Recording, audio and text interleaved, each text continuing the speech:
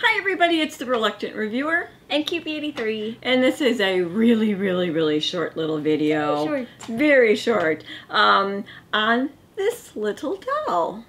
This is Global Sisters. Uh, it's by a brand called Bunnies. Under the Bay. Bunnies by the Bay. By the Bay. Uh, which we had never heard of before.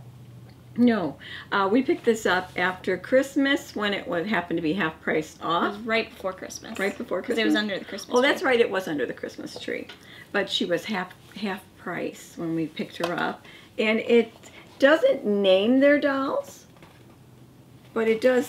It's wherever you come from, under the sun. Global Sisters welcome everyone, and that's their little thing. Uh, made they were made exclusively for the world market. You can also find them on the website for Bunnies by the Bunnies Bay. by the Bay. Uh, and they have a, a second series, a different set of dolls. I thought it was so cute. And actually, for a month old, she really likes her little doll. She does. It's uh, like all soft and plushy, kind of like a rag doll. Surface Uh, washable. Surface washable, and like Lena like adores like gnawing at it. and, and giving it tight Giving hugs. it hugs and eating its face. She really likes that doll. She'll just, she sees it and she's just like so excited, like, thought it was really cute. Maybe you're looking for a nice soft little fabric type doll for someone in your life or for you. Maybe you collect uh, the little soft, smushy ones. And she has beans in her behind here, so she is So she somewhat can weighted, sit, so, she, can, sit, down. So there's there's that, but it doesn't say what like country, Country? No. specifically, so you can kind of guess.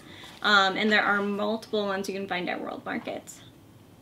Yeah, there's there's five of them shown on the box. I'm not sure if there's more than that. On the website, I think I only saw a couple. On the website, there was colorful. one that looked slightly different than what was on these. Oh. With like oh. shorter hair. I don't think it's supposed to be the blonde one. Maybe it is, but a little There was a blonde one, remember? I almost picked it up and then I saw her and I thought she'd like her and she really does like so her. cute. So she's adorable. So those are the kind of little illustrations on there. It's really cute.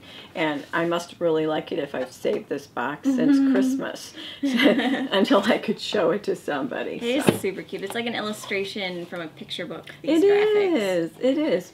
So um, show them some love. Uh, click on their website and just see what kind of things they have. Yeah. And I thought we'd show it. And this is what Lena likes. So we'll talk to you later. Bye. Bye.